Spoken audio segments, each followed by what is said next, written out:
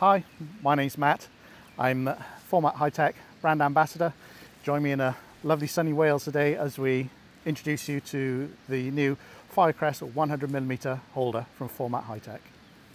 So this is a new filter holder pouch which comes with, uh, with every filter holder.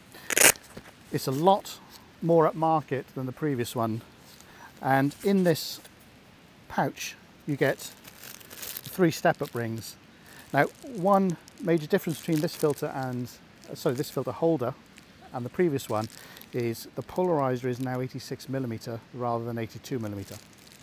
So there's an 86 millimeter step-up ring along with an 82, a 77 and a 72.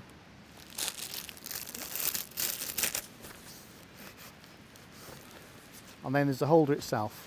First thing you notice is this lovely blue detailing which matches the Formatt Hitech logo. Polarizer mounts in the same way onto the 86mm holder, which then screws onto the front of the lens. You'll also notice a new screw-on attachment. So the same as the previous generation filter holder, the circular polarizer attaches onto the step ring. Just give a nice little screw in. And this then mounts onto the front of your lens.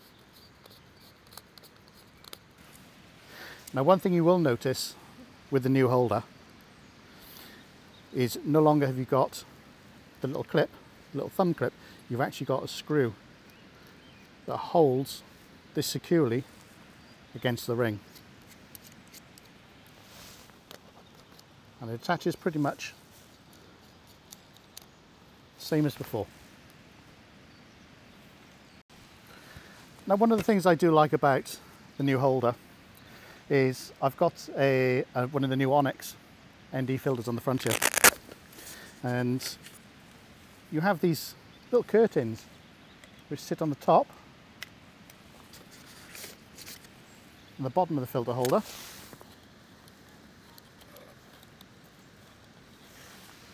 And what they do they just give you an extra little bit of protection from some light coming in especially when you go into ultra long exposure photography. You just stop that, that extra little bit of light bouncing between the, the filters or leaking in behind there, giving you those horrible bright light leaks. So along with the fully enclosed curtains, you also get some with a slot. I don't know if you can just see the slot in there. Try and get a highlight behind my with my coat there. But what these do is they slot in the same way, but it allows you to put a graduated filter alongside the neutral density filter and you can move those up and down then without actually disturbing the ND filter behind it. So one of the big differences between this new generation holder and the previous one is the way it actually attaches to the front of your lens. Now previous users will all be too familiar with a little slide clip on the old holder. This one actually comes with a screw attachment which makes it more secure and gives it a more positive action when you mount it onto the front of your lens.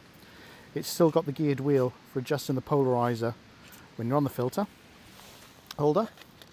And he just sits on and attaches. And that's quite secure on the front of there. And I like that with my filters especially when using glass filters